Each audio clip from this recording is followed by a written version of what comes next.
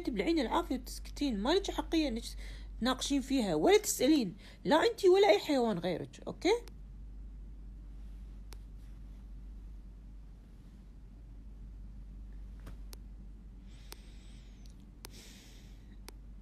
إي لأن اللي يدخل في خصوصيات وايد إنسان. شخص هذا مو بني آدم حيوان. أنا ما تدخلت في حياة فلان تزوج تطلق ما ما تدخلت. شغل البني آدم يتكلم فيه. حيوانه لا أوكي خليه يكون حشري. راح يتمسخر راح يمسح في كرامة القاع. تقعد محترم وحطك على راسي. تتدخل بشؤون الشخص اللي جدا شخصية اللي حتى أبوي ما يقدر يسألني عنها أحط صبع بعينك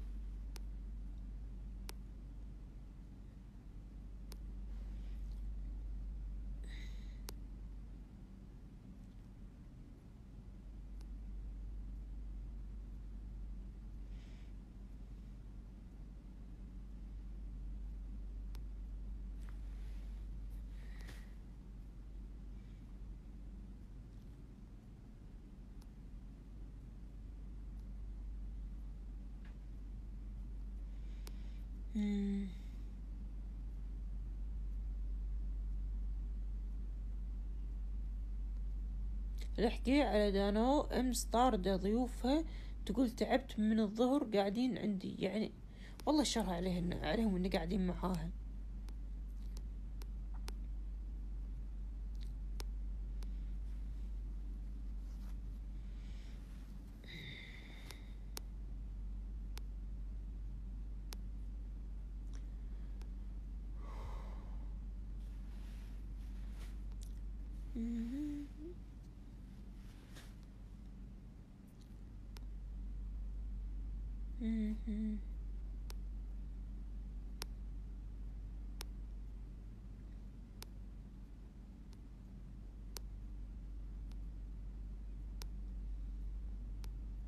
أخباري طيبة بخير.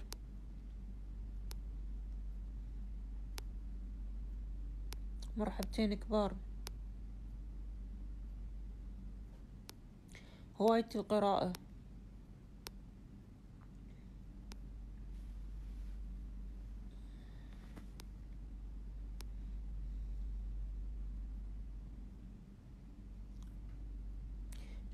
من صدقك انت من صدقك انت صاحي تسأل عن جامعة أي شيء؟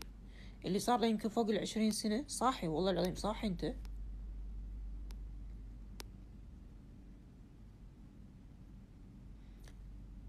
ناصر ويلكم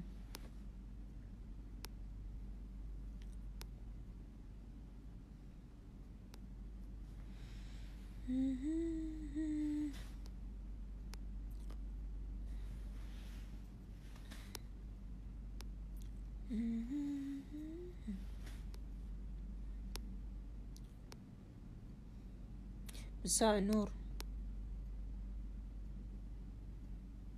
مالي رأي لا في زواج حليمة بولند ولا بطلاق حليمة بولند كل واحد حر بنفسه. مالي شغل مدام المرأة ما أعلنت كيفها؟ أنا ما أتكلم شيء ما يخصني.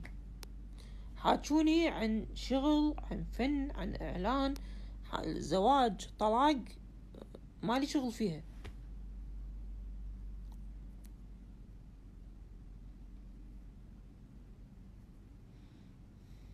عليكم السلام يا هلا.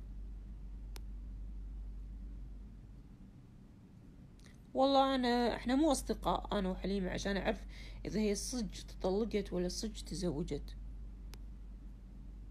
ما أعرف. حتى لو أعرف معلومة أحفظها حق نفسي لأن أنا مو شغلي إن أنا أتكلم عن خصوصيات مرة علاقة شخصية مالي شغل فيها. ثاني شي تزوجت ولا طلقت إذا تزوجت شنو بيزيد عليكم؟ وإذا طلقت شنو اللي أنتم بتخسرونه يعني؟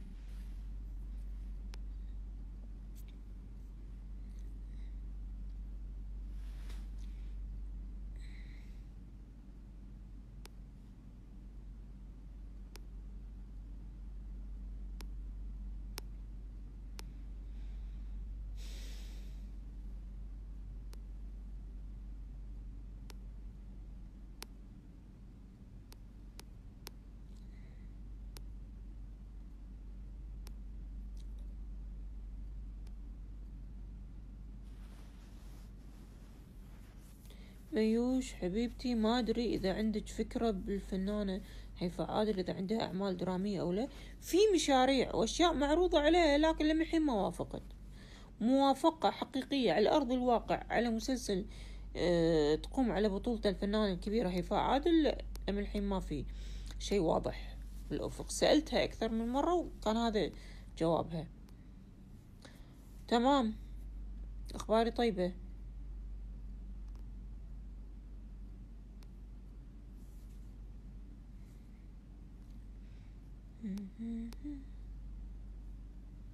دكتورة نوف حياك الله. غدير thank you فحبايبي please لا حد يدش عندي ويقعد يسألني. حليمة طلقت حليمة تزوجت. أنا مالي شغل بحد.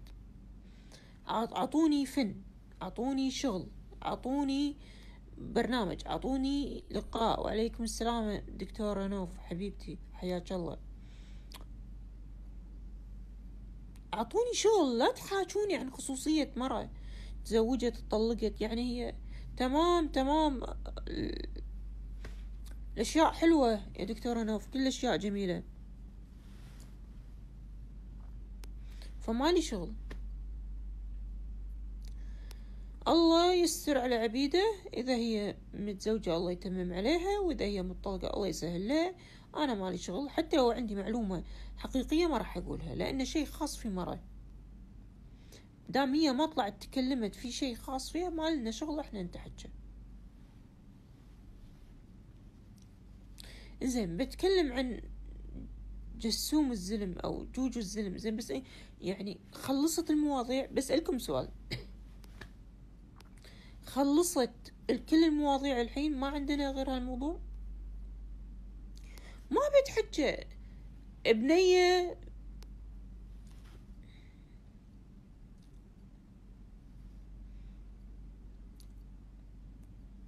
يعني بنية مقطوطة بمصيبة. طلع عليها قرار النيابة إن عشرة أيام. آه إيقافها بالحجز. إنزين.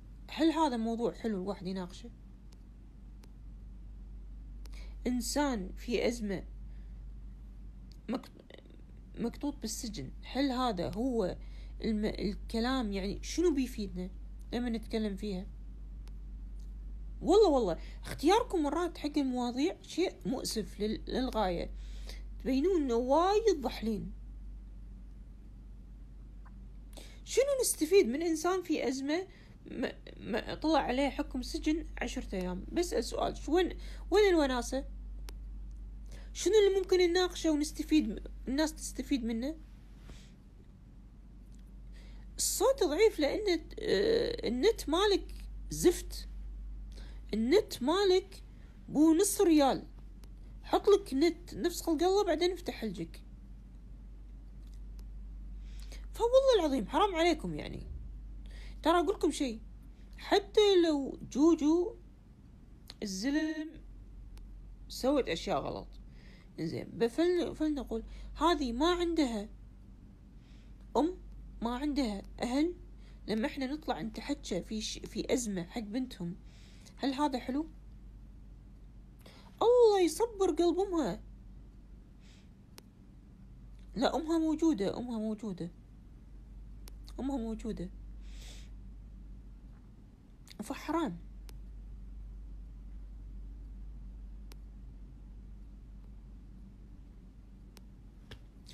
الله يسهل العبيدة. ببتدي تمام تمام.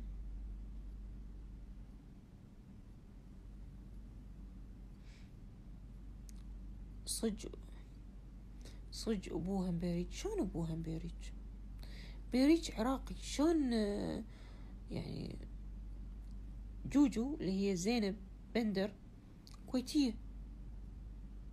شلون يعني؟ بهيج عراقي. يعني لو بنته كانت تكون كان كان المفروض اسمها زينب مبارك لأنه هو اسمه مبارك.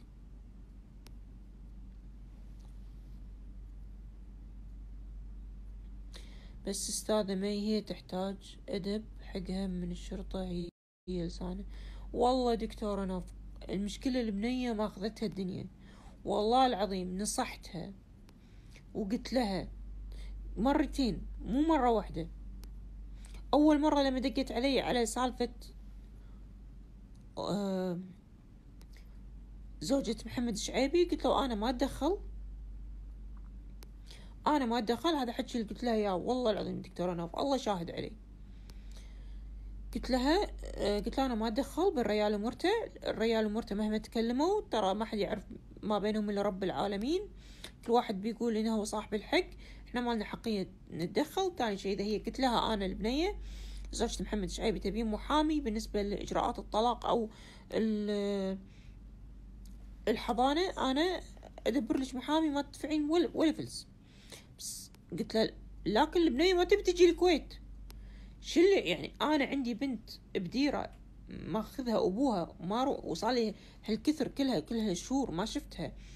ما أروح أدور أشوفها شلون؟ ما أجي.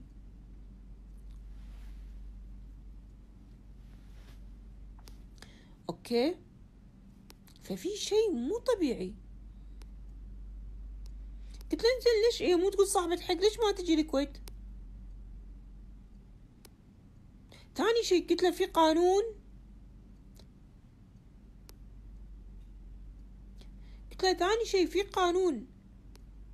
هي تبي تاخذ البنت وتقعد فيها بالبحرين.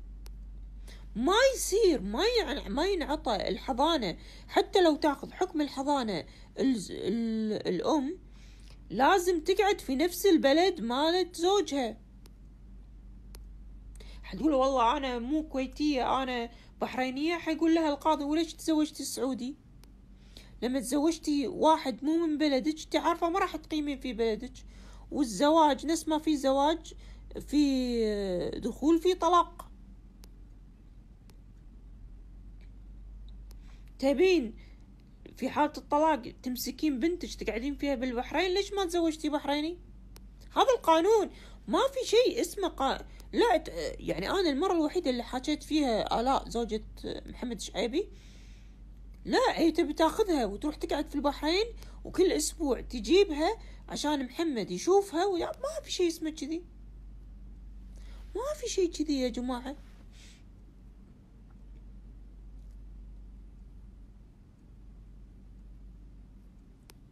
فأمانة مو هينة.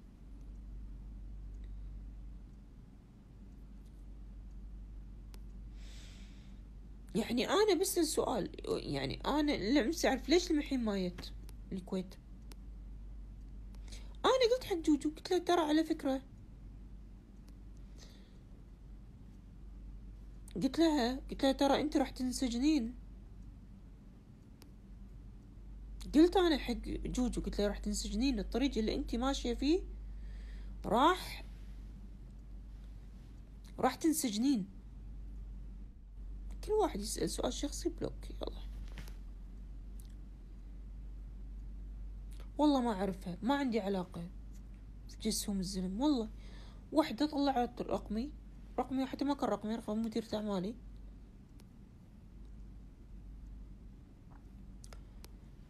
كلمة آه، دزت لي message قالت لي أنا فلانة شوف سنابي هذا سنابي. الناس قالوا لي خلي مي العيدان طلعت السناب كله سب بس بعدين مرة كلمتني قلت لها أنا ما أنتوا تبوني أمسك السناب وأقول تركتها علتها ما, ما أسوي كذي أنا. أنا مو ياهل. أنا في يوم من الأيام كان في خلاف بيني وبين عائلة الشعيبي. رفعت قضية القضاء أعطاني حقي انتهى. واليوم أنا أعلنها أن أنا فتحت صفحة جديدة مع محمد وبدر شعيبي. الله يسهل عليهم ويعوضهم خير. على الخسارات اللي خسروها بالأيام اللي طافت. شيء لا يعوض. قلت لها كلمة. قلت لها ترى راح تنسجنين يا جوجو؟ لا ما قلت له بقول شيء كلمة. ترى ثلاث أرباع المساجين اللي نايمين. في السجن المركزي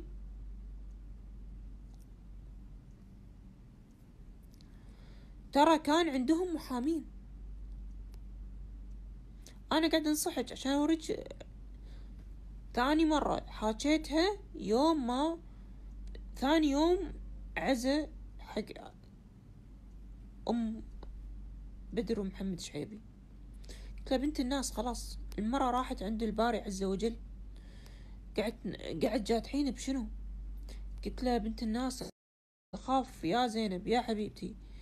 يبا ترى باكر تنحطين بمصيبة؟ لا تخلي أحد يتشمت فيك.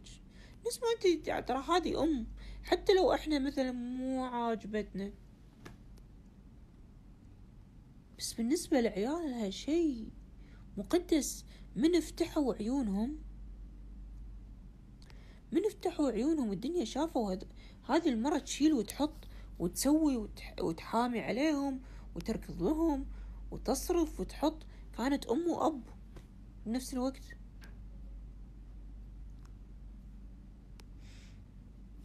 ما ما كانت تطيع والله ما كانت تطيع. الله يصلح الحال.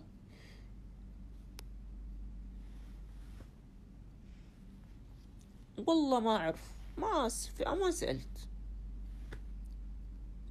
المرة توفت راحت عند الباري عز وجل. لا نقعد نناقش. والله هي سوت؟ لا هي هذيك شلون ردت؟ كلام ماخذ خيره. عندكم كلمة طيبة ادعوا للميت.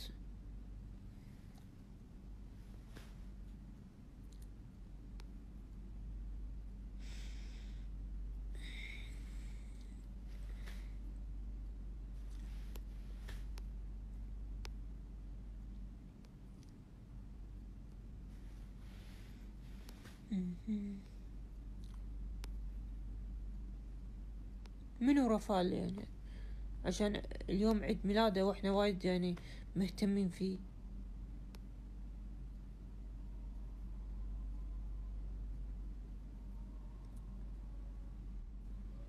اي فقدة الأم الأم صعبة. قالوا موتة الأب يتم وموتة الأم ضيعة.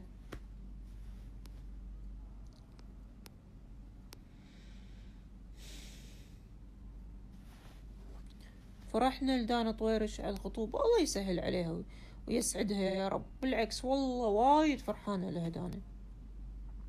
الله يسهل عليها ويسعدها. والفالكم يا بنات ويا شباب الله يكتب لكم إن شاء الله الخير. كل واحد إن شاء الله الله يرزقه. الرجال الله يرزقه بالمرة الصالحة والذرية الصالحة. وكذلك يا مرة واللي تزوجت ولا من الحين ما ياها عيال الله إن شاء الله يعطيها اللي تتمناه. منو خطب دانا واحد من أهل الديرة. بس